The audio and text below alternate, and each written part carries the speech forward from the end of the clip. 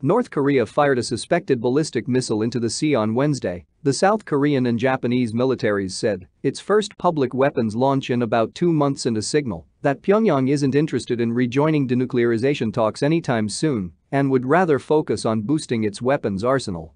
The latest launch came after North Korean leader Kim Jong-un vowed to further bolster his military capability without disclosing any new policies toward the United in an emergency video conference. Members of South Korea's presidential national security team expressed concerns about the launch and said resuming talks with North Korea is important to resolve tensions, according to the presidential Blue House. The Japanese Defense Ministry also detected the North Korean launch, saying the country likely fired a missile. We find it truly regrettable